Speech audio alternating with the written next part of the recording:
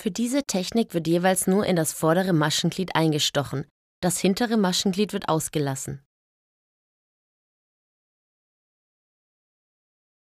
Arbeiten Sie eine Wendeluftmasche und drehen Sie das Häkelstück zu sich, sodass Sie von oben auf die Maschen blicken.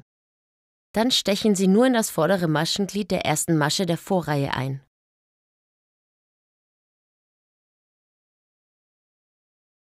Häkeln Sie die feste Masche wie gewohnt fertig und arbeiten Sie dann in jede weitere Masche der Vorreihe eine feste Masche. Stechen Sie aber immer nur in das vordere Maschenglied ein.